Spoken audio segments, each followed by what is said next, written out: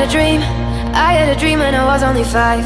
To work at a bar I wanted to see over the other side. And I had a friend.